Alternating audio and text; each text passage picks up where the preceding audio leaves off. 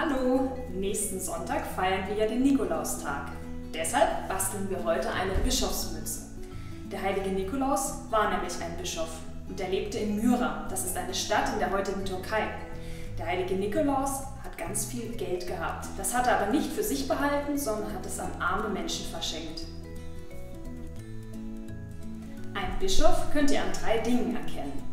Einmal an den Bischofsstab, das ist so eine Art Hirtenstab, dann an einen Bischofsring und an den Bischofshut, der sogenannten Mitra.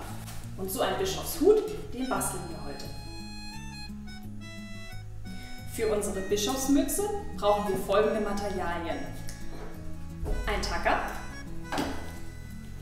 Klebstoff, ich habe hier Flüssigklebstoff und einen Klebestift, eine Schere, ein Bleistift zum Vorzeichnen, Filzstifte, ihr könnt auch gerne Buntstifte nehmen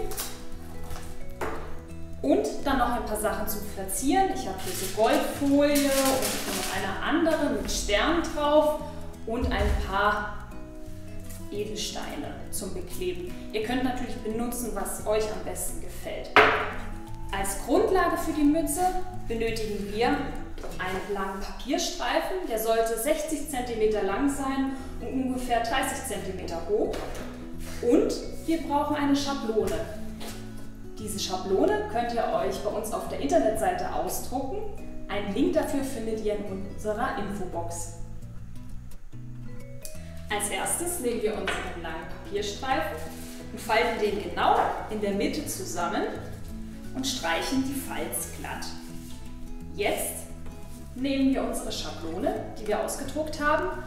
Auf der einen Seite der Schablone steht das Wort kleben, auf der anderen das Wort Falz. Die Seite mit dem Wort Falz legen wir genau an unsere Falz, halten die Schablone schön fest nehmen uns den Bleistift und fahren genau an der Kante der Schablone entlang. Schön ordentlich. So, wenn ich jetzt die Schablone wegnehme, habe ich praktisch den Umriss der Bischofsmütze auf meinem Papierstreifen vorgezeichnet. Als nächstes schneiden wir unsere Bischofsmütze aus. Da ist es ganz wichtig, dass wir hier an der Kante, wo die Falz ist, nicht entlang schneiden, sondern wir fangen erst hier oben an zu schneiden.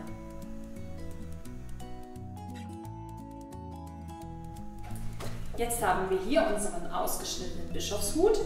Der ist jetzt an einer Seite noch offen. Diese Seite nehmen wir und überlappen die Enden so ein bis zwei Zentimeter. Nehmen uns unseren Tacker und tackern die beiden Enden erstmal unten zusammen. Und damit das Ganze wirklich hält, von oben auch nochmal.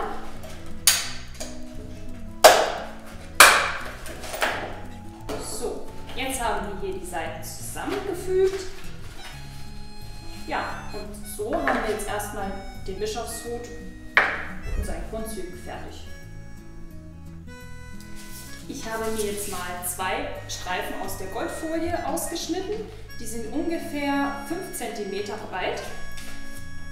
Den ersten Streifen nehme ich jetzt und tue ihn von einer Seite mit unserem Klebestift einstreichen.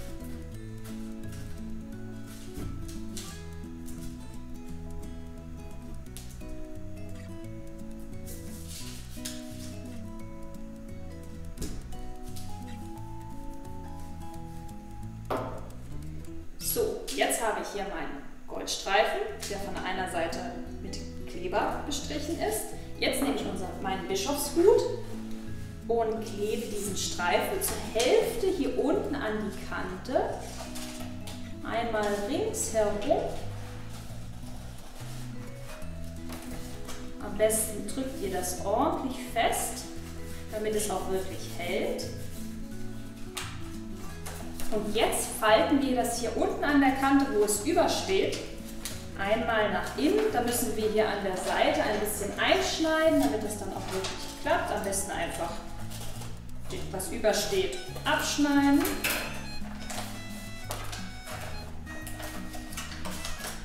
Und nach innen umkleben. Hier ist es noch ein bisschen zu lang, hier muss ich auch noch ein bisschen was abschneiden.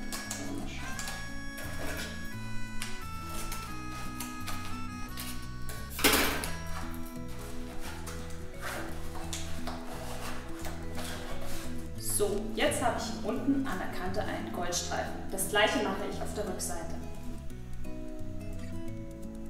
Jetzt möchte ich mir in die Mitte meiner Bischofsmütze hierhin ein goldenes Kreuz machen. Dafür habe ich zwei gleich lange Goldstreifen ausgeschnitten. Da nehme ich mir jetzt den ersten, nehme wieder meinen Klebestift und tue den von einer Seite mit Kleber einstreichen.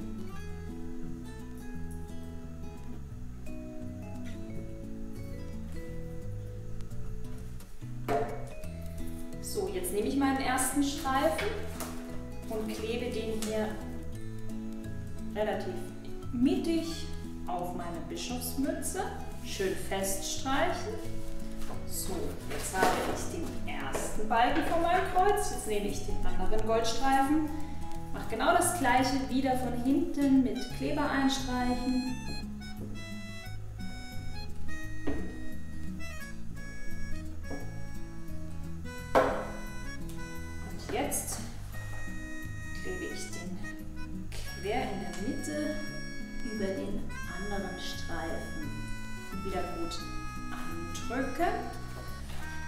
Jetzt habe ich mein goldenes Kreuz.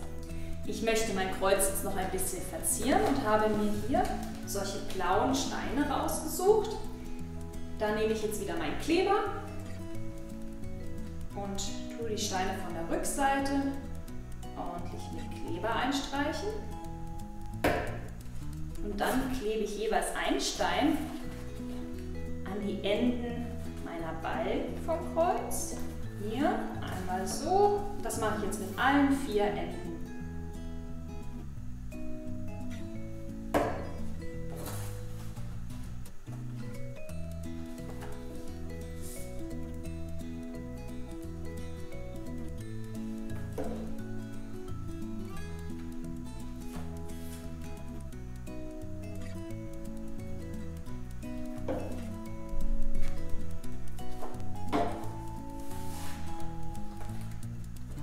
Mein Kreuz ist damit fertig.